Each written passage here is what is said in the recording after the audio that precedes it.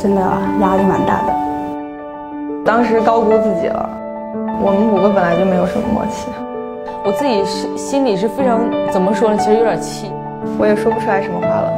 没情，想要陪小孩子吧，脾气不是很好。